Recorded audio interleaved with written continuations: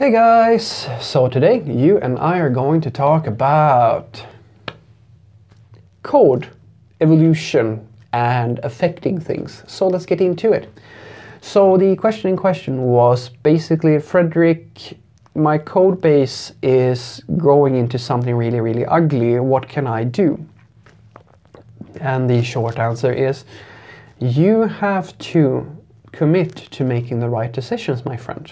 So let's like let me just let me explain here because this is a fluffy one or it's a very tricky one I think to to express in a good way. So everything that I have to say about this topic I think can be summarized in saying that we all have to start somewhere. And what I mean by that is basically that when you start a company or you start a code base or you start something, whatever you do, you are in what we call an experimental phase. And basically what that means is that you don't really know what's going to work and what's not going to work. And this is one of the most important realizations that you can possibly have. So I really want you to listen to this. You don't know what's going to work. Now, if you accept that, you are already ahead of I don't know how many people, because there are so many people out there who are worried that in the early stages of early stages of their company, they're going to make a mistake. They're going to pick the wrong language, the wrong stack, or something like that, and their entire company is going to fall to shit because of it. And that is just not true. Because in the early days, the most important thing that you can optimize for is development speed, iteration speed, things, the time to market. How quickly can you ship something? How quickly can you change your, your um, application to fit into a new business requirement? These things are much more important.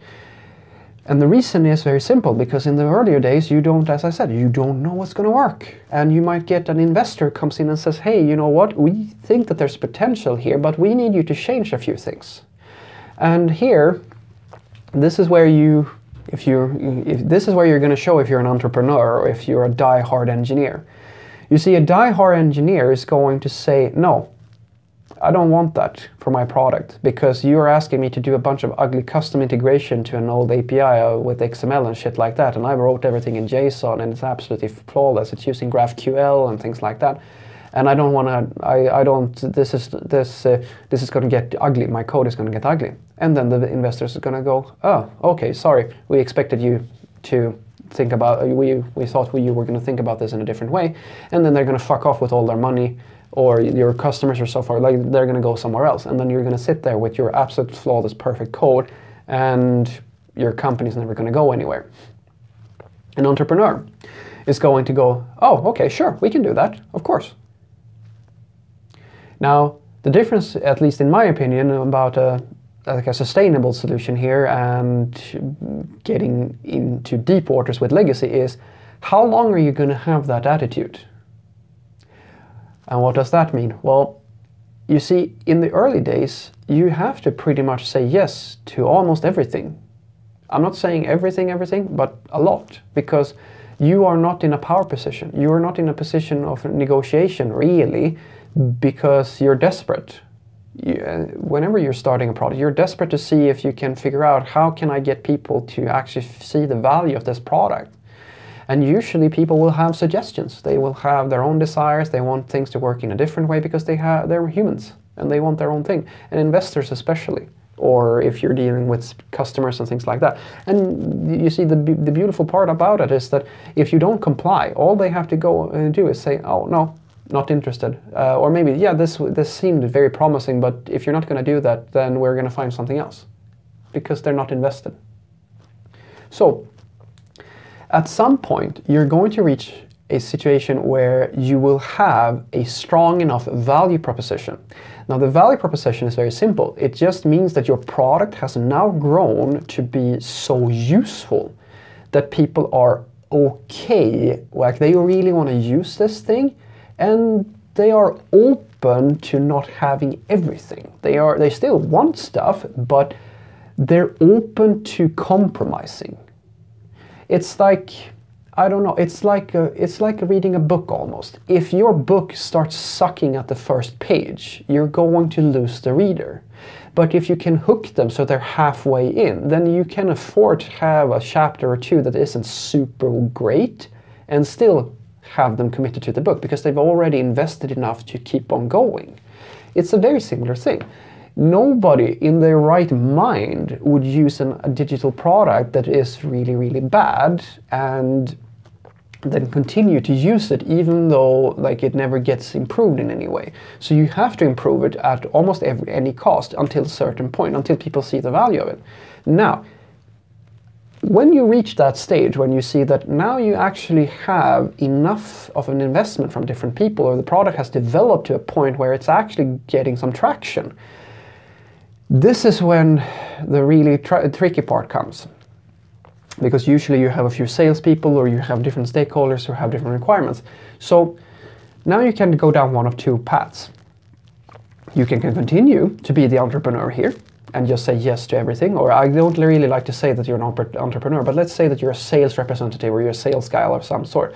You can continue to comply with every single thing that your customer wants. And the problem with that is that, which is a lot, which not that many salespeople understand, is that you get the deal every single time, but at some point you're going to have a system that is so shit that nobody wants to use it. And just FYI, guys, some of the most successful startups have been built on simplifying products that have made this exact mistake. There is an entire there are billions of dollars to be made from creating a simpler solution to companies who just said yes to absolutely everything and their system. There are so many consumers out there who are just waiting for a simpler way of doing their taxes, simpler way of booking a flight, simpler way of finding a flight. Like, there are so many areas where companies have stayed in this phase of just complying with every single request that they get to the point where the product is actually really bad.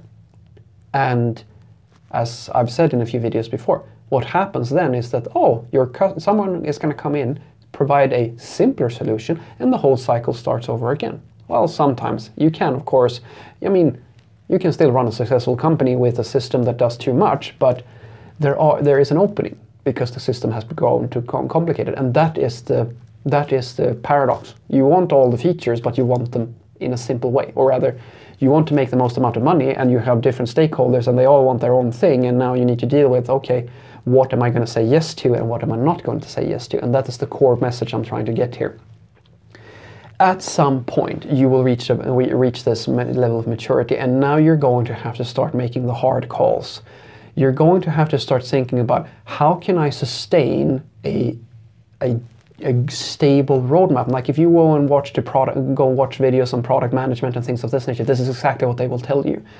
As a product owner, it is your job to do what's best for the product and to make sure that it fulfills all the requirements and all the needs of your different customers. But the problem is that you can't just say yes to every idea that your customer has. You have to find a holistic way of solving these sorts of problems because otherwise the product is going to get really shitty. It's like I've said many times before, if you build, want to build a toaster, well, technically you could build a toaster with Bluetooth support. It can make waffles. It can make, well, technically they can if you're frozen waffles, but I don't know. They are the the the toaster is also a, a a utility tool. It's also a, toothbrush, a soap dispenser. Like you can put every single feature on the planet on the toaster, but it's going to fuck up the toaster. That's what's going to happen. And that's the thing that you need to start thinking about when you get, if you want to avoid your code to get really, really ugly. At some point, you need to start thinking, stop thinking about one-off solutions for every single company and start thinking about how can we, like these are the problems of our, uh, our customers. How can we find a way to produce a feature within our system that works for all of them?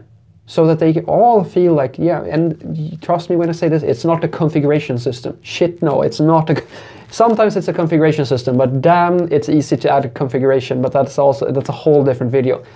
It's about dilute, like, uh, distilling down and really getting into the essence of what is the problem that they are trying to solve and how can we produce a flexible feature that feels intuitive to them. An example I like to take is do you see, like if you have a problem with I don't know Google Analytics or one of their products, do you call into Google and say, "Hey, you know what? This isn't working for me and unless you fix it, I'm not going to use your product." Do you think that they're going to rewrite how their features are working just because you feel that way?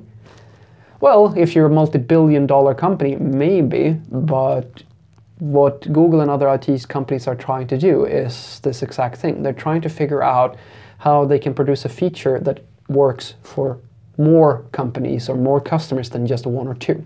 So what I want you to take away from this is pretty much that if you want to avoid your system to like if you want to avoid getting your system into a really bad place and having it become a really really ugly legacy system you will have to accept that first and foremost you will have legacy because in the early early early early days of the creation of your system, you don't know what's going to work. So odds are that you're just trying things out to just get everybody on board so you can get both the learnings but also money in so that you can continue the work.